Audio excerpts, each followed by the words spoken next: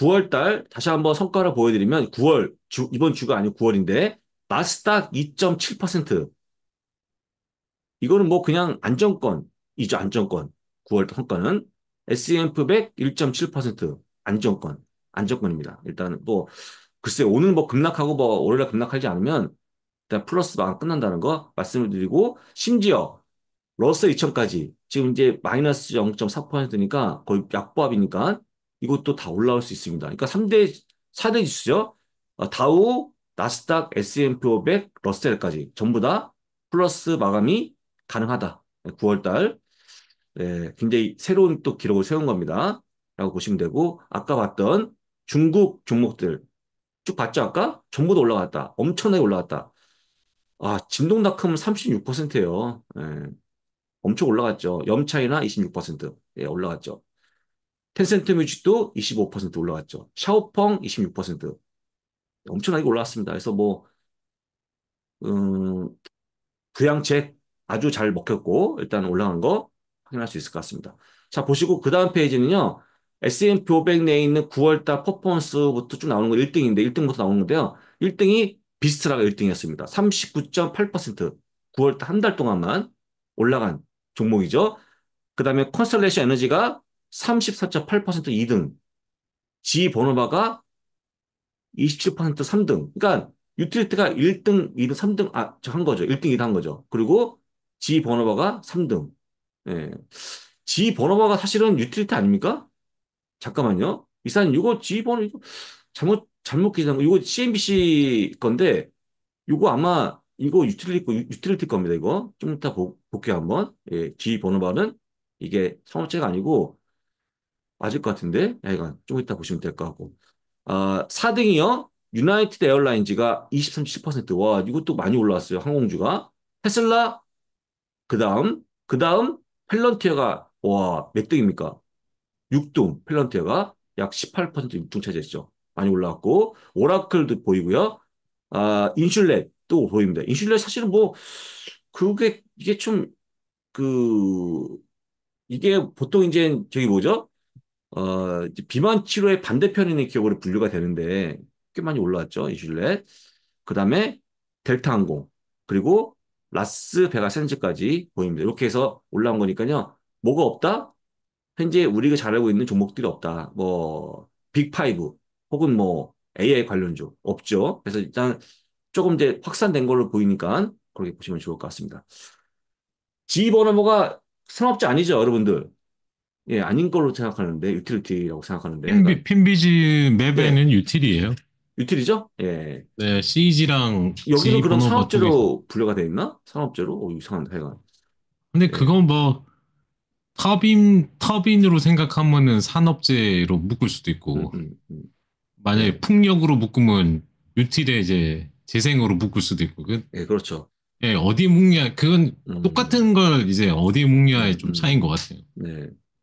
네, 저는 이제 좀, 좀, 이- 제가 예민한 게, 이 저희가 또 음. 주도주에 편입시키는 바람에 좀, 하여간, 그렇습니다. 보시고요.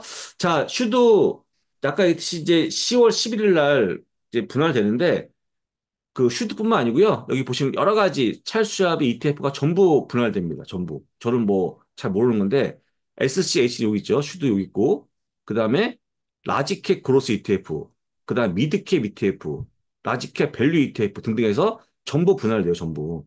그래서 뭐 어, 4대1, 3대1, 기본 3대1, 2대1도 있기 때문에 혹시 슈드 찰스 슈왑에 있는 ETF 좋아하시는 분들은 꼭 한번 확인해 보시고 예, 뭐 싸지는 거니까 훨씬 더 잘 되겠죠. 거래가 잘 되겠죠. 그래서 아까 얘기했듯이 코카콜라부터 록히드 마틴, 펩시콜라, 브로드컴, 버라이존, 텍사스 인스트루먼트, 홈디포, 시스코 이런 것들이 포함되어 있는 종목들이 구성되어 있다.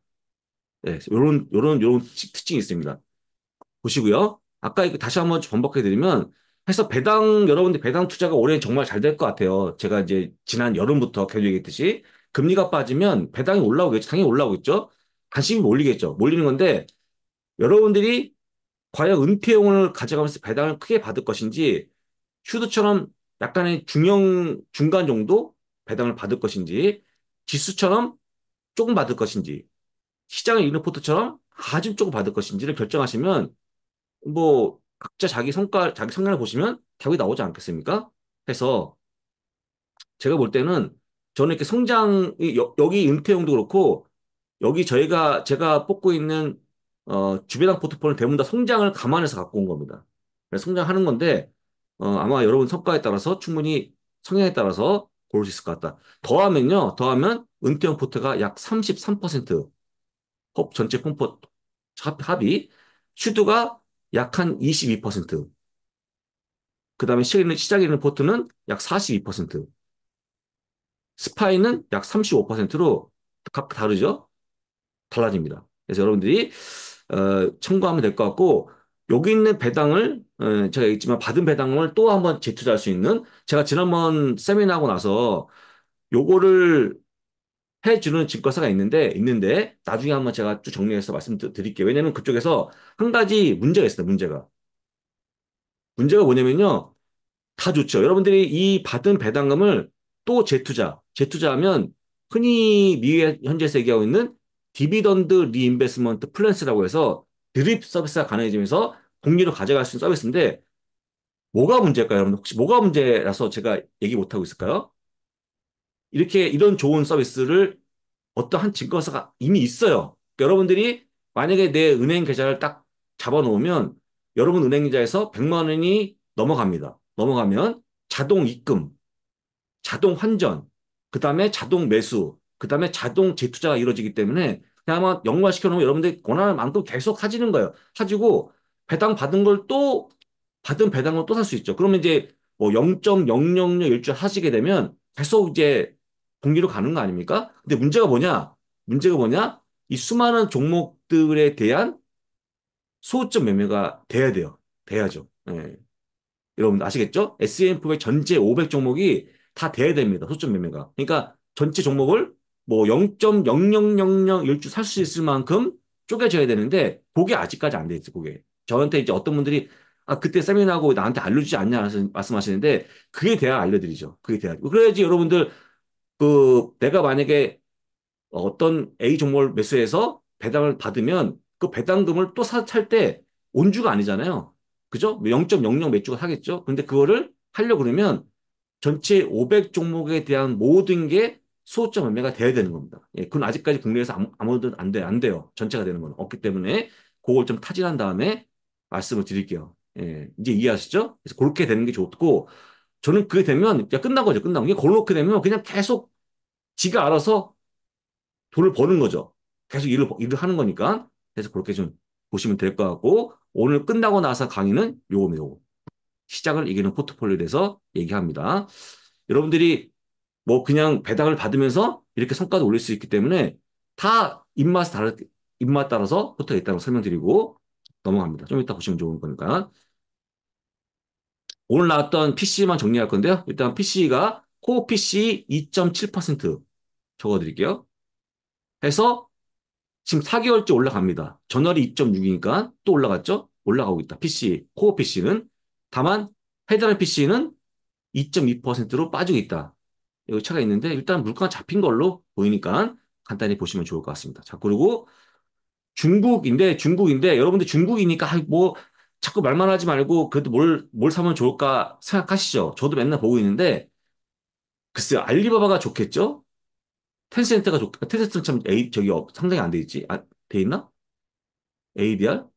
OTC 아닌가? 하여간, 뭐, 진동닷컴 다 좋죠. 좋은데, 제가 보기에는 개별 종목은 너무 부담스러워서, 일단은 그게 아니고, 어, 좀 이따 말씀드릴게요. 일단 CSR 300은, 와, 보십시오, 한번. 이 보세요. 지수가 빵빵빵빵 터졌죠. 와, 진짜 이렇게 올라갈 수 있습니까? 대단하죠. 대단합니다. 예, 많이 올라갔고요. 어, 보니까 약 17% 올라갔어요. 17%. 예, 주간에 지수가 올라갔고 어, 또 이제 항생테크라고 하는 종목이 또 있는데 이것도 나스닥 100에 비해서 지다가 한 번에 끌어올려 한 번에 이렇게 예. 19대 18로 차이도 별로 없어요. 이제 나스닥 100하고 차이가 별로 없죠. 그만큼 많이 올랐다는 거. 마이너스 8%에서 바로 붙어버린 거예요. 플러스 18%로. 와, 여기서 여기까지 많이 올랐죠. 그 다음에 그러다 보니까 어, 지금 이제 그 항생테크도 RSI가 88입니다. 88. CS의 300은 83. 못 사죠. 못 사겠죠. 못 사요. 저거 봐도 못 살 것 같아. 힘들어. 무서워. 무섭고. 그 다음에 또 언제 빠질지 어떡합니까? 근데 다만 아까 이사님 말씀하셨는데 KWEB, K웹, 요거는 살만하다. 이게 이제 미국, 아, 저 중국, 차이나 인터넷 관련주가 모여 있는 건데, 뭐 알리바바 이런 게 포함되어 있죠. 텐스 같은 게. 그나마 이게, 이게 지금 보는 게 월봉인데, 딱 보시면 아시겠지만, 그렇게 많이 올라온 것 같지 않죠? 이제, 고점이 뭐 80, 90 위에 했거든요? 이제 32니까, 예, 그렇게 많이 올라, 물론 이제 단기적으로 올라왔지만, 충분히 살만하다. KWEB는, ETF니까. 예. 중국 인, 인, 터넷 ETF니까 살만해 보입니다. 제가 보, 보니까. 그래서 혹시 만약에 아, 중국 맨날 올라간다 하지 말고 뭔 찍어줘 하시는 분들은 뭐 물론 이제 대형 지수도 있겠지만 제가 보기에는 KWEB가 좋아 보인다. KWEB가 한때 한국에서 굉장히 인기 있었던 ETF였어요. 많이 알고 있는 ETF죠. 요것만 설명드리고 그리고 혹시 만약에 필요한 게 있으시면 어 럭셔리 브랜드 그러니까 차이나에 있는 럭셔리 브랜드가 보통 중국의 매출 노출도가 30%로 있다는 거죠. 예, 많이 팔리겠죠. 루이비통, 모엣 헤네시, 뭐 케링 이런 게 있겠죠. 예, 그런 게 있다고 보시면 좋을 것 같고 그 다음에 반도체는 약 40%까지 노출돼 있죠. 작지 않죠. 그러니까 여러분들 뭐 굳이 하자면 퀄컴부터 여러 가지 기업들이 있는데 뭐 그것도 참고하시면 될 것 같고 그 다음에 또 속스라는 ETF가 있으니까 예, 그렇게 하시면 될 것 같고 그 다음에 자동차도 있는데 지금 보시고 있는 독일의 OEM 통해서 지금 현재 매출의 20%, 수익액의 50%가 중국에서 만들어진다. 예. 그것도 어마어마하죠. 물론 이제 제가 이제 지금 말씀드리는 거는 중국에 살만한 걸 얘기하는 건데 럭셔리는 없는 것 같아요. ETF가 국내 미국에 없기 때문에 이건 직접 유로 주식 투자 참고하시면 좋을 것 같고 반도체는 속스 혹은 뭐 SMH 그런 게 있으니까 충분히 투자 가능해 보이고 자동차 업체는 이거는 참고하시면 좋고 하지, 하지, 하지 마시고. 예, 별로 이렇게 썩 제가 보기에는 뭐 현재 안차 안 되니까 참고하시고. 이렇게 해서 예, 중국은 장리만 올라가지만 아 갑자기 뒤늦게 어떤 이 참, 참전에 어 참여하기에는 참전하기에는 별로 살 게 없다는 거. 물론 이제 좋은 종목 많은데 너무 많이 올라갔죠? 이렇게까지 말씀을 드립니다.